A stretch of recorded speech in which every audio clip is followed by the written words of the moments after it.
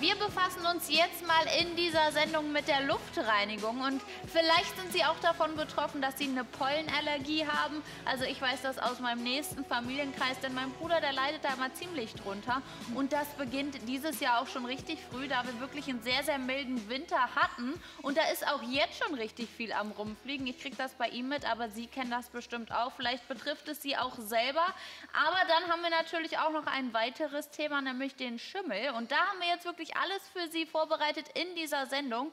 Und damit kann man einfach mal die Wohnung oder auch das Haus ausstatten, die Räume. Und dann kann man so manches einfach verhindern und mal wieder richtig gut durchatmen ja, richtig gut durchatmen. Darum geht es. Und gerade im Frühjahr, Ralf, du kennst das auch, haben viele Leute eben diese Schwierigkeiten wegen den Pollen.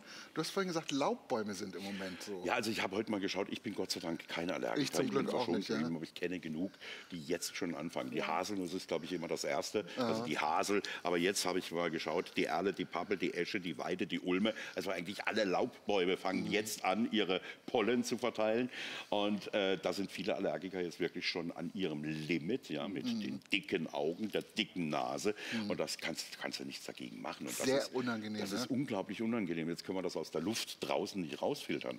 Aber mit diesen Geräten können wir uns zumindest zu Hause mhm. eine Wohlfühloase schaffen. Und das halte ich für ganz wichtig. Da sehen wir Raps, der wird auch nicht mehr so lang gehen. Ja. ja und das ist ja, den siehst du auch noch. Das ist, das ist immer das Brutalste. Also ich, ich habe Freunde, für sie, die ist so, so ein Rapsfeld ein Albtraum. Das ist wirklich so, sobald die das sehen, kriegen die schon eine feuchte Nase und rote Augen. Es ist wirklich sehr, sehr furchtbar mit dieser Pollensaison, die jetzt gerade anfängt. Man kann aber vorsorgen mit unseren Luftreinigern. Alle Luftreiniger, die wir Ihnen jetzt zeigen, haben einen Ionisator drin und der bindet eben hier zum Beispiel Staub, Pollen, Keime, alles Mögliche, was bei uns so in der Luft rumfliegt. Wir atmen ja jeden Tag 15.000 Mal ungefähr. Ein- und aus habe ich nachgeguckt. Bei Kindern kann das sogar doppelt so viel sein. Und das überlegen Sie mal, die Menge an Luft, die wir ein- und ausatmen und was wir da alles einatmen vor allem. Also gerade Staubkeime, Pollen sind da natürlich ganz, ganz vorne. Hier haben wir einen fantastischen Luftreiniger mit Ionisator und Gebläse. Den können Sie ganz einfach irgendwo hinstellen. Der braucht auch kaum Strom. 3,2 Watt, das ist also wirklich vernachlässigbar. Und der reinigt dann die Luft für Sie durch diesen Ionisator. Ionisator bedeutet, dass die Luft hier mit Anionen angereichert wird und das bindet eben diese ganzen ja, schädlichen Sachen, die Allergene äh, enthalten, die Allergien verursachen können und eben auch Heuschnupfen. Ich gebe dir mal einen davon. Ja. Der sieht ja auch sehr elegant aus. Also passt in jeden Raum rein, kann man einfach reinstellen und dann kinderleicht zu bedienen. Wir haben nur einen Knopf unten für den Ionisator für, und für Ionisator mit Gebläse. Mhm. Und das ist sehr, sehr effektiv. Du nimmst ja schon mal, das ist ganz wichtig, Sie haben keinen Filter, den Sie nachkaufen müssen. Das sammelt sich alles auf diesem Metall da. Das, das mhm. zieht den Staub und die Pollen und alles an. Und den müssen Sie ganz einfach ab und zu mal sauber machen. Ist also kein Verbrauchsmaterial, sondern kann immer wieder äh, verwendet werden. Hier sehen wir mal so ein Experiment, was wir gemacht haben. Ja, zwar in einem geschlossenen Zylinder, ja. da war ich sogar live dabei. Ich kann mich noch gut daran erinnern, wir haben geschaut, schafft er das? Und ihr werdet jetzt gleich überrascht sein, jetzt wird er eingeschaltet. Und dann passt man auf. Der elektrostatische Filter übrigens, das haben wir früher bei den Mattscheiben, bei den Fernsehern immer so gehasst, dass der Fernseher den Staub angezogen hat. Man ja. weiß das noch. Hier ist es natürlich gewollt und so hat man eben eine saubere Luft. Schauen Sie sich das an. Das ist irre, ne? Es ist wahnsinnig und das ist kein Zeitraffer, das ist Echtzeit. So ja. schnell ging das. Ja, also du siehst, übrigens auch in, in äh, äh, Zimmern, wo geraucht wird, ist das, ja. kann das auch sehr hilfreich sein. Ja, das bindet eben auch Geruchspartikel, ist ganz, ganz wichtig.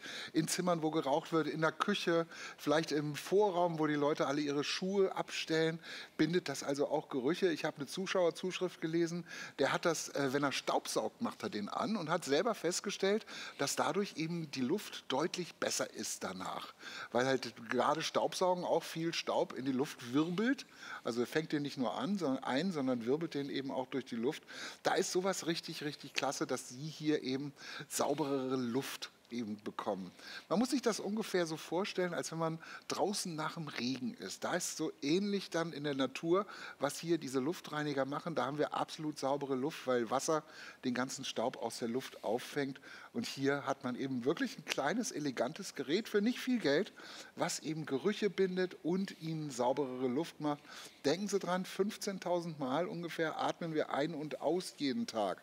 Das ist eine ganze Menge Luft. Und hier, wenn Sie Raucher im Haushalt haben oder irgendeinen Raum haben, in dem Sie gerne rauchen, stellen Sie den einfach mal mit dazu, schalten den ein und dann werden auch die Gerüche gebunden. Was ich interessant finde, gerade mit diesem Ionisator, Autoaufbereiter, also die Gebrauchtwagen ja. wieder fast wie Neuwagen machen, die arbeiten auch mit Ionisatoren, damit der Innenraum neu, geruchsneutral wird. Also da sieht man, wie wirkungsvoll die sind. Was ich noch beeindruckend finde, ich sitze jetzt keinen Meter weg und man hört das Gerät nicht. Das ist so gut wie geräuschlos. Es ist absolut wirklich, also es ist wirklich geräuschlos. Das ist eine ganz, ganz wichtige Sache auch.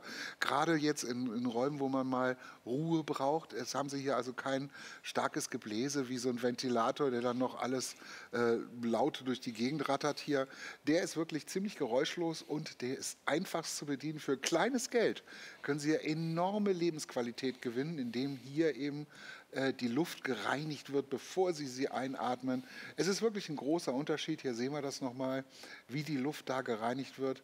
Und damit haben Sie saubere Luft zum Atmen. Dann das für gerade mal 26,59 Euro. Also Sie sehen, nicht nur für Pollenallergiker, also für Menschen mit Heuschnupfen geeignet, die sich hier so eine Wohlfühloase schaffen wollen, sondern eigentlich für jedermann, für jeden Wohnraum. Die Bestellnummer hier, die NC 5328 und die 569. Ich möchte das nochmal unterstreichen, was Ingo gerade gesagt hat. 3,2 Watt maximaler Stromverbrauch. Also das können wir wirklich vernachlässigen. Das ist ja heutzutage bei den Strompreisen nicht ganz unwichtig. Und hier sehen wir mal, gegen was das alles hilft. Jetzt haben wir noch den größeren Bruder. Einmal für größere Räume, mhm. aber auch noch mit einer Zusatzfunktion. Ja, das ist, Sie sehen die beiden hier nebeneinander. Der Unterschied ist, dass der größer ist und damit eben für größere Räume, hast du gut erkannt, Ralf. Hier vom Prinzip her genau das gleiche. Wir haben hier oben im Bedienfeld haben wir den Ionisator, wir haben ein zuschaltbares Gebläse, aber das ist wirklich so ruhig, dass Sie das auch wieder nicht hören. Und hier oben können wir auch noch UV-Licht dazu schalten. UV-Licht tötet Viren und Bakterien. Das heißt, die Luft, die hier rauskommt, ist nicht nur staubfrei also, und pollenfrei, sondern eben auch bakterien- und virenfrei. Ich zeige Ihnen mal den Filter, das ist nämlich genau das gleiche System. Wir haben hier wieder diese Metall- äh, ja, Blöcke, sage ich mal, die das statisch eben alles anziehen. Einfach unterm Wasser mal abspülen ab und zu, dann haben Sie hier also auch wieder keine Verbrauchsmaterialien. Cool ist halt hier, dass wir einen größeren Raum damit machen können und dazu zusätzlich noch diese UV-Lampe drin haben. Das macht nochmal einen größeren Unterschied, da kam sie nochmal bessere Luft. Ich habe auch oft gehört, dass Leute, die schnarchen, eben mhm. auch schnarchen, weil sie tatsächlich hier Bakterien und Staub und sowas alles einatmen. Das kann dafür auch helfen. Probieren Sie es einfach mal aus. Und gerade zu dem Preis kann man sich hier wirklich saubere Luft kaufen. Ja, und hier sehen wir mal einen Artikel zur Desinfektion mit UVC-Strahlung, was hier drin ist. Das ist mhm. im Gerät wichtig, dass Sie die UVC-Strahlung nicht unbedingt direkt abbekommen, aber da wird natürlich hier, hierauf beruht die Fähigkeit, Bakterien, Viren abzutöten. Übrigens in der Wasseraufbereitung, und da würde ich sagen, haben wir in Deutschland wirklich eine sehr, sehr gute, wird dieses mhm. UVC-Licht ebenfalls verwendet. Da sieht man mal, wie effektiv das ist. Ja, und es ist wieder ein sehr elegantes Gerät, was Sie einfach ins Wohnzimmer, in die Küche, egal wohin stellen können. Es bindet Gerüche, auch ein großer, großer Punkt. Ich, Sie kennen das auch, wenn man einmal kocht. Ich habe in Bremen habe ich vor vier Wochen mal Knipp gekocht. Die Bremer wissen, was das ist. Es ist so, so ein Fleischbrei, schmeckt unglaublich gut. Wie heißt das? Knipp. Kennst du das? Nein. Okay, das kennt man nur in Bremen, vielleicht noch in Oldenburg. Aber das ist ein ganz tolles Gericht, muss ich mal mitbringen. Aber geruchsintensiv, nehme ich jetzt Sehr mal Sehr geruchsintensiv. Vor allem, du musst es braten. Ja, alles oh, drin. Okay. Alle guten Sachen sind drin, natürlich. Aber die Küche riecht dann drei Tage, ganz einfach. Mit sowas ist das also perfekt für die Küche geeignet, natürlich auch. Ähm, vielleicht, wo sie, wo sie ihre Sportsachen immer hinlegen, wo Schuhe sind.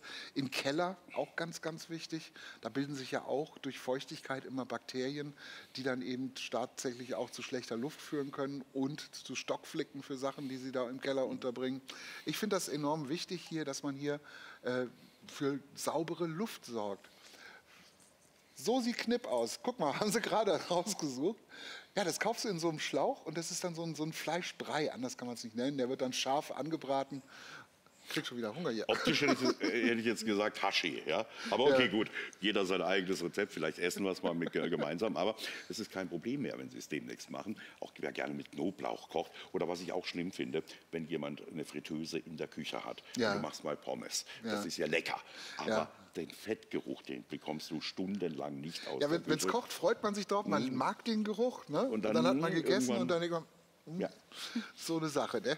Mhm. Deshalb am besten jetzt direkt hier zugreifen. Auch hier haben wir wieder einen Super TV Sonderpreis. 50 Euro und 34 Cent für unseren Luftreiniger mit Ionisator und eben auch diesem UV-Licht, was wirklich richtig toll ist, um eben auch diese Bakterien hier abzutöten, einfach diese Desinfektion.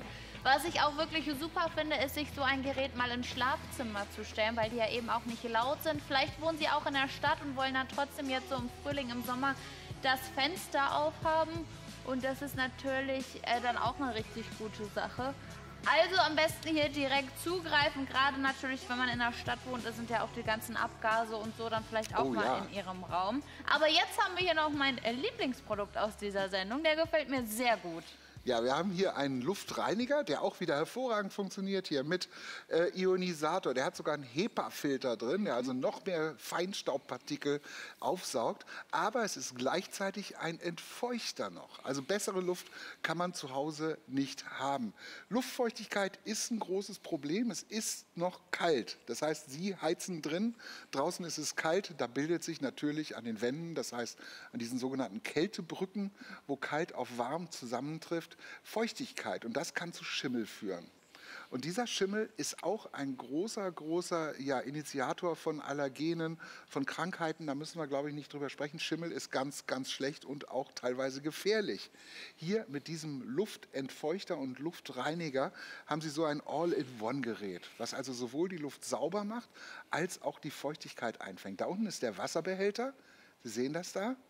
Das ist eben, da wird das Wasser gesammelt und dann haben Sie hier tatsächlich äh, 750 Milliliter können Sie damit einfangen.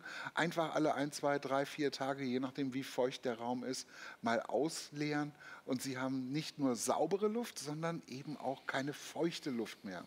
Ich meine, gerade jetzt, man soll ja, sagt man, fünf bis sieben Mal am Tag Stoßlüften. Das ist wirklich eine Empfehlung, die ich gelesen habe. Aber wer macht das denn heutzutage? Die Heizungsluft, die wir drin haben, die warme Luft, äh, ist enorm teuer, die haben wir teuer bezahlt und die wollen wir nicht einfach so zum Fenster rauswerfen. Also Stoß, macht man dieses Stoßlüften schon deutlich weniger und dadurch bildet sich halt diese Feuchtigkeit. Das Gerät hier ist auch wieder kinderleicht zu bedienen. Schauen Sie hier oben ist das Bedienfeld, wo wir eben den Ionisator, den Luftreiniger und auch den Entfeuchter einzeln anstellen können oder alles zusammen. Was Sie aber auch machen können, ist hier, Sie kriegen eine kostenlose App dazu, mit der Sie dann ganz, ganz einfach das vom Handy aus steuern können. Sie können auch Zeitpläne einstellen, dass Sie meinetwegen, bevor Sie schlafen gehen, ein, zwei Stunden die Luft reinigen, bevor Sie ins Zimmer gehen.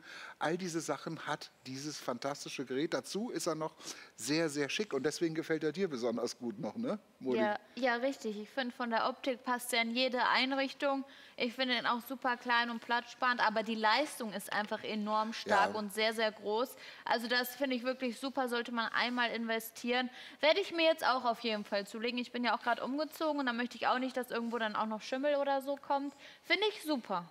Das ist ja auch schlimm mit Schimmel. Selbst wenn ja. du irgendwo mal einen Ansatz machst, man hat die mhm. weggeputzt, die Poren, die äh, sind noch in der Luft, die kriegst du ja nicht so schnell raus. Mhm. Und das wird hier eben gereinigt. Also da ist natürlich oh. Handlungsbedarf, aber da reicht ein einfacher Luftreiniger nicht mehr. Aber selbst wenn das beseitigt ist, hat man wahrscheinlich noch Wochen und monatelang Sporen in der Luft. Und da ist das ganz wichtig. Die Pollen sind unterwegs, das sowieso, die werden hier auch eliminiert. Und wenn Sie dann wirklich noch längerfristig Probleme mit ho zu hoher Luftfeuchtigkeit haben, durch sogenannte Kältebrücken, die Ingo gerade erklärt hat, dann macht es natürlich Sinn, hier regelmäßig einen, einen Luftentfeuchter auch einzusetzen, dass eben in Zukunft die Schimmelgefahr zumindest minimiert ist.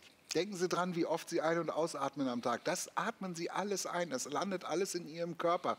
Das muss nicht sein. Sie können sich hier mit einem unserer Luftreiniger oder hier sogar dem Topmodell, was wir Ihnen nur vorstellen, wirklich für deutlich sauberere Luft sorgen und damit so viel Ärger vermeiden. Der ist natürlich auch sehr, sehr leise.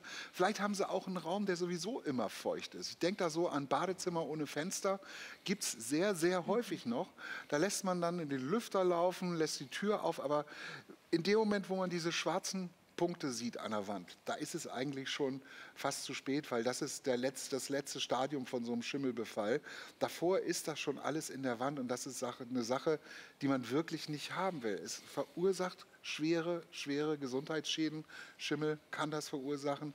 Nehmen Sie sich ein Herz hier, holen Sie sich diesen tollen Luftreiniger und Entfeuchter. Damit sorgen Sie vor und haben dann eben diese saubere Luft. Was du gesagt hast, Moni, du hast ja in Göttingen auch in der Stadt gewohnt. Ne? Ja, richtig. Da ist die Belastung, wenn man das Fenster aufmacht, natürlich allein schon ja. durch, die, die, durch die Autoabgase und Lkw-Abgase mhm. immer höher. Das merkt man dann auch irgendwann, ne? Ja, das merkt man. Und deshalb, wenn man einfach dann mal nicht im Raum ist, einfach hier diesen Luftreiniger laufen lassen. Das finde ich eine super Sache. Und wenn man dann einfach zum Beispiel abends kurz vorm Schlafen geht, macht man den an. Und wenn man dann schlafen geht, dann macht man ihn wieder aus. Aber man weiß einfach, man kann jetzt mal richtig durchatmen in der mhm. Nacht. Die Luft ist gereinigt. Das finde ich wirklich super. Aber auch gerade was natürlich die Pollenallergie angeht. Ich kenne das, wie gesagt, von meinem Bruder sehr, sehr gut. Der, leid, der leidet da wirklich extrem stark drunter. Das ist wirklich eine super Erleichterung, gerade für die Menschen, die es vielleicht auch betrifft. Ja, man mag ja gar nicht das Fenster aufmachen, weil man genau weiß, draußen sind die ganzen Pollen. Ja. Wenn dann noch der ganze, Sie sehen es ja an den Scheiben auch, wenn dann der Rapsfilm da drauf kommt. Ja, oder so gegen die Sonne, da sieht man es auch immer richtig dolle. ja. ja wir sind in einem staubigen Land und äh, da kann man hier eben wirklich mal, und pollenreichen Land, da kann man hier wirklich gegensteuern und sollte vor allem auch gegensteuern. Hier für gut 120 Euro holen Sie sich den, stellen Sie vielleicht einen in jeden Raum. Das ist unser Topmodell, was wir Ihnen hier zeigen. Das ist ein Horrorfilm für Leute, die Heuschnupfen haben, dieses Rapsfeld. Und hier sieht man es mal in ja, der genau. Luft. Ist das nicht beeindruckend? Das atmen wir alles ein, 15.000 Mal am Tag. Und dann ist es kein Wunder, wenn die Nase verstopft ist und wir niesen müssen. Also gegen die Luft da draußen können wir nichts tun. Die Pollen ja. sollen auch fliegen, die sind ja auch notwendig. Aber in unseren eigenen vier Wänden können wir uns eine Wohlfühloase schaffen und nicht nur Pollen bekämpfen, äh, vielleicht auch äh, verschiedene Krankheiten, die von einem zum anderen weitergegeben werden. Man mhm. kennt das von Familien. Ja. Die Kinder bringen es aus der Schule, dann wird die Mama angesteckt, dann die Geschwister, dann der Papa. Äh, kann man dann vielleicht auch noch mal ein bisschen los, ne? minimieren, indem man eben solche Luftfilter, äh, hier Luftreiniger einsetzt. Die Bestellnummer hier für unser größtes Modell mit der WLAN-Fähigkeit und mit dem Luftentfeuchter, das ist die NX 3291 und die 569 und kostet gerade mal 123,49 Euro. Und ich glaube, das sollte es einem wert sein, die höhere Lebensqualität. Mhm. Aber auch wenn Sie nicht unter Allergien leiden, ist es mit Sicherheit kein Fehler, äh, sich sowas äh, nach Hause zu holen. Wir wollen ja auch die möglichst sauberste Luft hier eben einatmen. Und ich glaube, unser Bedürfnis zur Grundsauberkeit ist recht hoch in Deutschland. Mhm. Aber die Luft, die können wir halt nicht mit dem Wischmopp reinigen. Ja, ich meine, ich, ich merke es hier auf dem Land. Wir sind hier wirklich mitten auf dem Land. Alles grünt und blüht. Ich habe zum Glück wenig äh, Heuschnupfen und, und diese Pollenallergien. Aber wenn ich nach Bremen komme, merke ich an der Luft, dass der Staub eben in der Luft doch da ist, mehr als hier. Sie können sich diese Landluft, können Sie sich hier nach Hause in, die Wohnung holen. Man, man riecht, ja, ist ja wirklich Nein, so. Ne? Ich muss nur wegen dem Begriff Landluft. Ja. Wenn wir, also ich, ja, ich, bin, ich, bin, ländlich aufgewachsen wenn, wenn, da jemand von Landluft gesprochen hat, hat jemand der Nachbar gerade den, den Acker gedüngt. Also die Landluft, die Landluft will ich nicht zu Hause haben. Ja? Aber natürlich, ich weiß, was du meinst, diese ja. natürliche Luft und die können Sie sich holen. Jetzt müssen Sie nur schauen, hier für kleinere Räume, für mittelgroße Räume und hier noch der Luftentfeuchter. Ich glaube, ein Luftreiniger ist äh, in vielen Haushalten genau das Richtige, was für mhm mehr Lebensqualität sorgt, was eben sie tief einatmen lässt. Und Ingo hat ganz am Anfang so ein richtig schönes Beispiel gemacht. Das ist wie nach einem Gewitterregen, wenn man dann auf dem Balkon steht und tief Luft holt. Und diese Luft, die können Sie sich selber erzeugen. Nochmal für den letzten die Bestellnummer. Das ist die NX 3291 und die 569. Und für gerade mal knapp über 123 Euro schaffen Sie sich eben mehr Lebensqualität. Jetzt reagieren Sie, wenn Sie Heuschnupfenallergiker sind, hören Sie auf zu leiden, zumindest solange Sie zu Hause sind. Holen Sie sich einen Luftreiniger und dann wird zumindest in Ihren eigenen vier Wänden die Luftqualität erheblich verbessert. out.